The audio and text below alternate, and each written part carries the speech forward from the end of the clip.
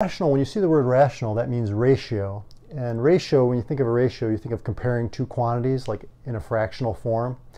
And root, what root means is that that's a solution of the equation. It's what makes the equation uh, equal to zero. And these are also the points where the graph crosses the x-axis. So that's uh, the roots, okay, they call these roots, solutions, x-intercepts, zeros.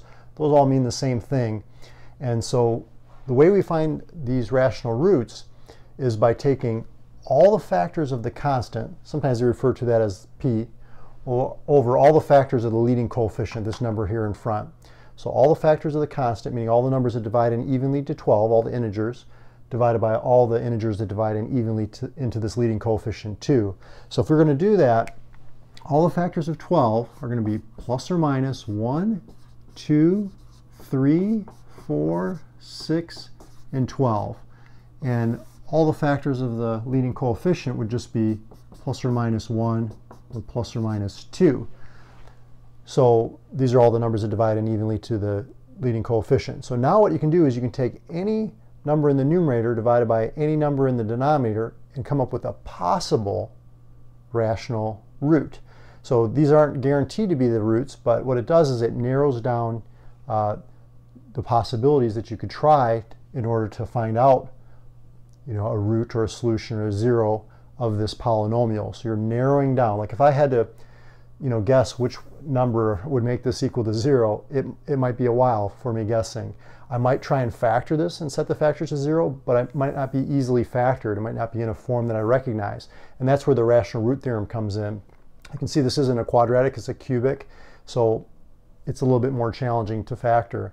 So here's what we do. We take the factors of the constant over the factors of the leading coefficient. And if you want, you can write these out. You could say like this is going to be plus or minus 1 over 1, which is 1. This is going to be 2 over 1, which is 2. So these all could be positive or negative. 3, 4, 6, 12.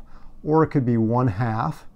Okay, so I'll just slip in 1 half right there. Okay, or it could be 2 over 1, which is 2, we already have listed. 2 over 2, which is 1. 3 over 2, okay, we don't have that one. I'll put that one in there. 3 over 2. Uh, 4 over 1, we have that. 4 over 2 is 2, we have that. 6 over 2 is 3. 6 over 1, we have that. 12 over 2, which is 6, we have that. So, so these are all the possible rational roots. Now, what we do to test them out is we do synthetic division. So let's, let's say we wanted to test to see if 6 was a, a root what we do is we go over here and we do our synthetic division. 2, negative 12, 22, and negative 12.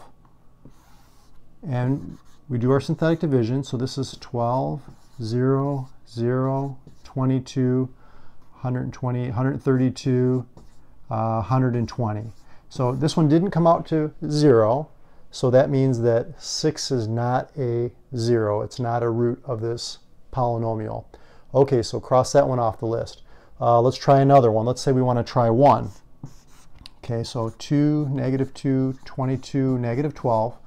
Those are our coefficients. We're doing the synthetic division. 2, 2, 0, 0, 22, 22, okay, and this comes out to 10. So oh, I made a mistake because this is 12. Okay, let's do that again. So this would be um, negative 10. This would be negative 10. This would be 12. And then this would be 12. And this would be 0. Okay, so there we go. So that we got 0 as a remainder. So that means that 1 is a 0. Okay, it is a root. And what happens when you do the synthetic division is this goes down by 1 degree. So originally it was a cubic. Now we're going to be down to a quadratic. So 2x squared minus 10x plus 12. Now that it's in the quadratic, we can do the quadratic formula to find the other zeros, or we can factor. So here I'm just going to factor. I'm going to factor out the 2.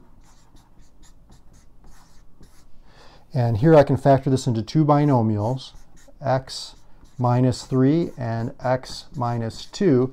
If I set these factors equal to 0, we get 3 or 2.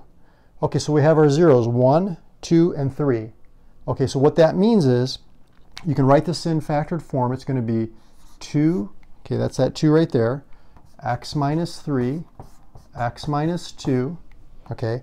And then 1 was a 0, so x minus the 0 is a factor. x minus the 0 is a factor, so that's x minus 1. So this is our polynomial here in factored form. If you set the factor to 0, you get the, the zeros, the x-intercepts. And if we wanted to graph this, it's going to cross here at 1, 2, 3. The leading coefficient is positive, so that tells us it's going to go up to the right. It's an odd degree, which tells us it's going to go the opposite way to the left. So just making a rough sketch here, the graph's going to look something like that. It's going to cross at these points. We have the end behavior. It's a quick way to get a sketch of this polynomial uh, without you know, taking it to the next level. So this is basically just a quick way to get a graph, finding the zeros, using the rational root theorem, and uh, go ahead and review this video if you need to uh, go through it one more time, and I'll see you in the next video.